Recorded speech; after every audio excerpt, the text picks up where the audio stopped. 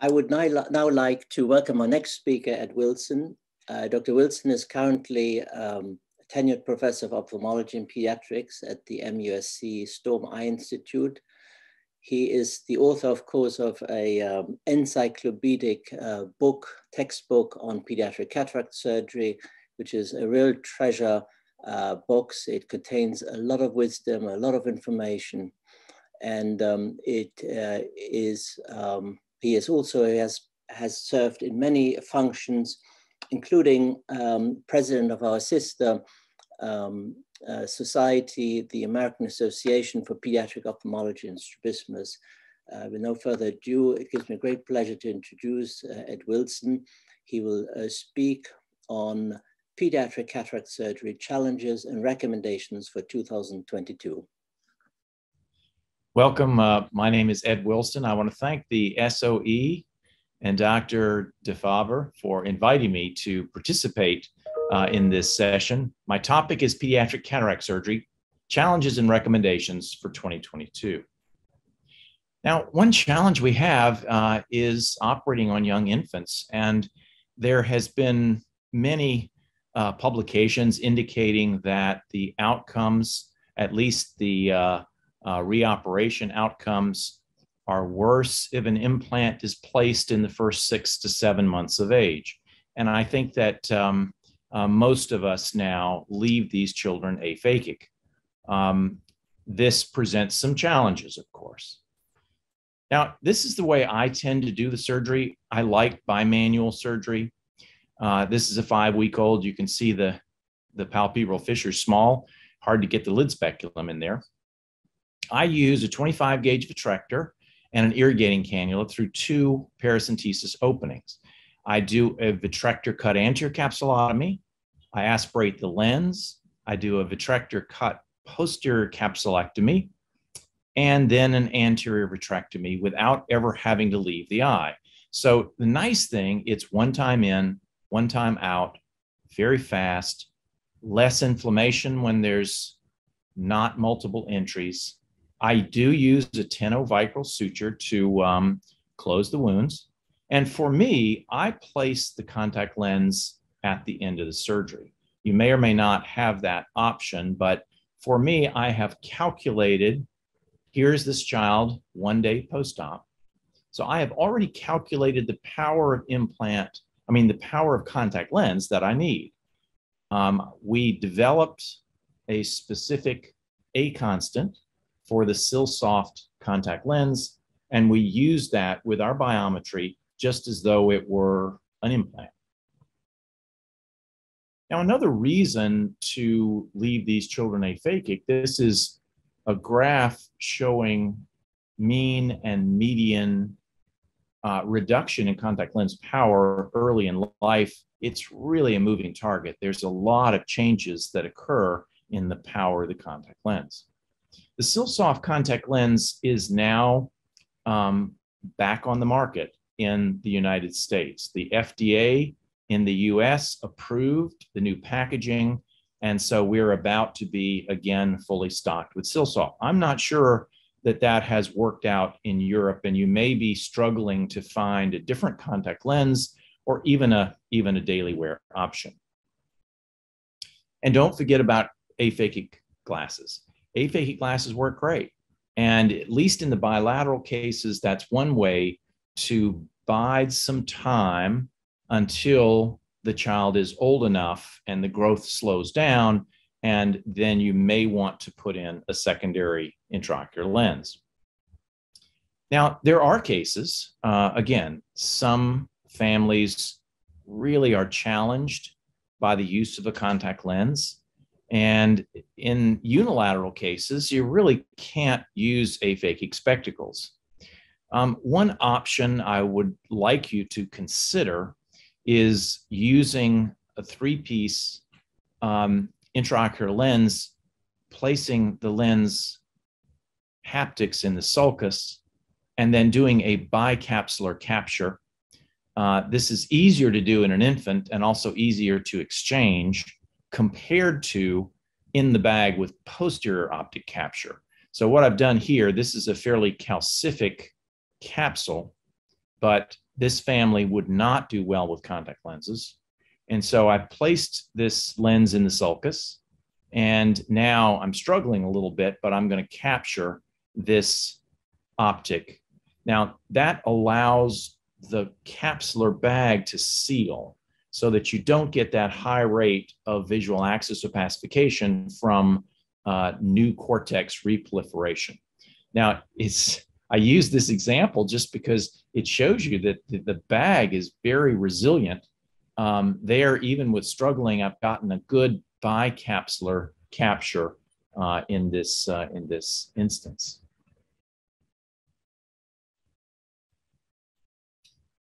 Now, because we are leaving a lot of these young babies aphakic these days, um, there are more secondary intraocular lenses needed as the children get older. My peak time is around age four, five, six, but not every child needs a secondary implant, but many are ready to uh, stop with the glasses or the contacts. Most of my secondary implants these days are in the capsular bag. What you've seen me do here is open the Soemmering ring using an MVR blade. And now I'm taking the 25 gauge vitrector and turn the cutting port on its side. And I am walking my way all the way around 360 degrees to reopen the capsular bag and create a new anterior capsule opening. If the first surgery has been done correctly with matching anterior and posterior capsule openings, then the Soemmering ring that is created, and that's age dependent, you get more Soemmering ring the younger the patient was at surgery. That new material keeps the bag open. It, it holds that space. Once you open the, the Soemmering ring, you really are obligated to remove all that material, clean it out, take the time to clean it out. All the time, I'm visualizing my new anterior capsule opening. But this allows me to use a single piece lens, a lens that I would only place in the capsular bag. Now I'm putting ophthalmic viscosurgical device within the reopened capsular bag. And I think here in a moment, you'll be able to visualize that there is a new anterior capsule opening. I think you can see it. I can see it all the way around. Uh, I know that I've created space with the OVD. Um, if the white ring, which represents the posterior capsule, it was where the capsule's fused. If that white ring is near the visual axis, you may want to remove it but I would urge you to not remove it until after the lens is safely in place in the capsular bag. When you're removing the OVD and you go under the optic, then you can trim that white ring if necessary. I don't think I trimmed it in this case because it is really outside of the visual axis and it's not going to be seen unless the pupil is, um, is dilated. So here I was able to use a single piece lens that's really only appropriate for in the bag. And with this child, that lens is going to need to stay in for decades. So I feel better that it is now in the capsular bag. Um, I will again sew the wound with 10-0 Vicryl. I like Vicryl because I don't have to go and remove it later. Uh, hopefully you have access to, um, to 10-0 Vicryl. If not, you use nylon and then you have to go back and so here I've removed OVD from anterior to the optic, but also from posterior to the optic. Um, I rotate the lens so I don't run into a haptic when I do that, uh, that maneuver right there. Now, here's my typical case of a child who's old enough, this is a two-year-old, to um, receive a primary intraocular lens. I use a manual capsulorhexis with a small incision capsulorhexis forceps. I use bimanual irrigation and aspiration, put the lens in the bag with the posterior capsule intact, take out all the OVD, and then I go pars plana to remove the posterior capsule. Now, doesn't mean that you can't do it anterior. Of course you can, and there are many ways to get this job done. What I found is that I have much more control this way. All the OVD is is gone. Um, I was taught that if you're going to cut vitreous, do your best to cut it where it lives. Uh, I go through using an MVR. Use I use a 25 gauge MVR. I was also taught that a trocar is used for tool transfer, and if you're only going to go in once, it makes more sense just to use an MVR, and then I close it. I know it may not need to be closed, but I close it with a vicryl suture anyway. Now, we remove a lot of posterior capsules in children because of the rate of PCO is so high. That's another challenge. It's an old challenge, but it's one that we continue to, to deal with. You can see cellular reproliferation that has stopped at the posterior capsule edge here. I find that I'm doing more posterior capsule removals rather than less as the kids get older. YAG laser in children can be um, easy or hard. And if you're going to do a YAG laser in the office, I would I would tell you to do it early. Do it as soon as PCO starts because as shown in this upper um, my left upper left picture, um, quickly the, the PCO gets so thick that the laser won't go through it. And in cases like this, we end up having to go back to the operating room and do it through the pars plana. Now, here's another thing we deal with. This is a successful YAG laser, but you have all this material because the vitreous is formed, all this capsular material and reproliferation material.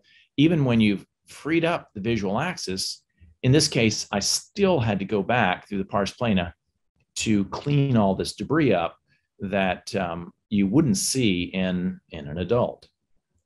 So that leads me to do more posterior capsule uh, removal rather than less. Another challenge we deal with is in ectopia lentis, the, the ones that progress rapidly in childhood tend not to be the ones that are very good for um, capsule sparing uh, types of maneuvers. Um, they're certainly okay to use in selected cases, but we we struggle with these very rapidly progressing subluxation where it makes more sense to remove the capsular bag. Now, for me, um, my best option is to use the Artisan aphakia intraocular lens. Um, we have a more limited access to these than you do in Europe. Uh, we have to do it through a compassionate use clinical trial protocol. But I now have done 93 of these. I have a few more coming up. I have enjoyed having access to this lens. I know you've had access to it for, for a long, much longer period of time than me. But many of our cases now have five years or more of follow-up and, and they're they're doing quite well. We are not allowed by the FDA protocol to enclavate the lens on the posterior side of the of the uh, iris. So I can't speak to that. I know that's popular. Um, just the way the protocol was written, we can only attach it on the anterior um, surface. We have to follow the protocol or we don't get access to the lens.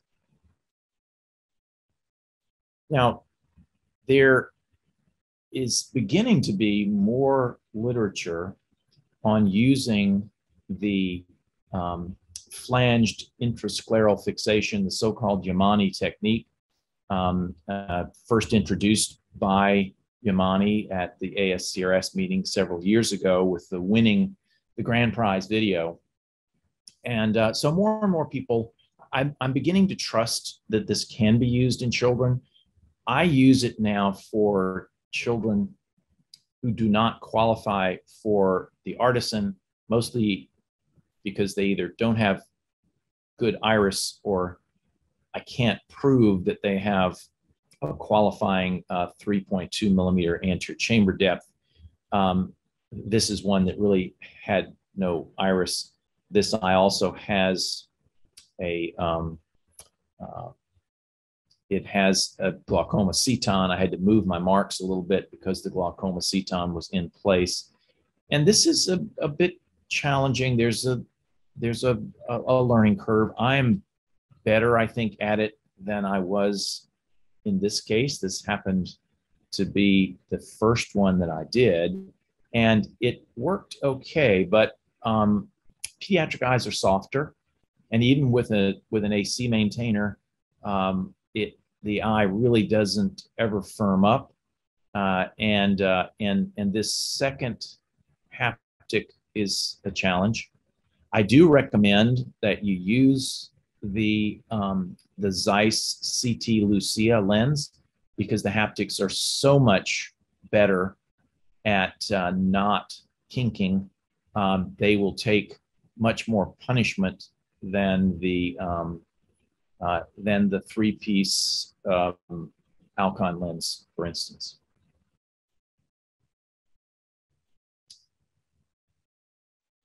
Now, if you're an adult cataract surgeon and you do a lot of kids, the most popular technique you're going to have is a manual posterior capsulorhexis and no vitrectomy. Um, and I, that is a that's an elegant technique, and I certainly use it mostly in kids above about age five or six.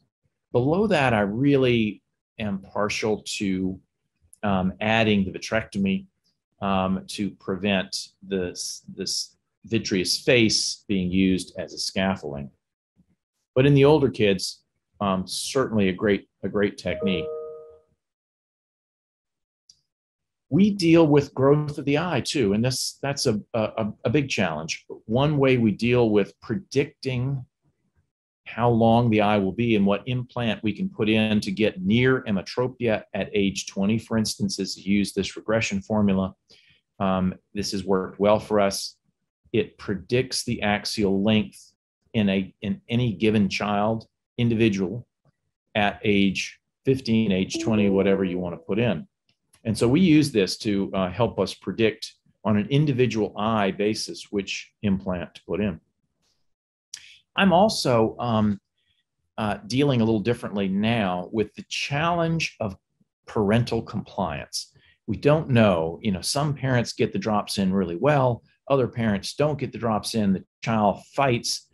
These physician administered medications that are now, now on the market um, give you a sustained release around the clock with a built in taper. They release dexamethasone uh, even when the child's asleep.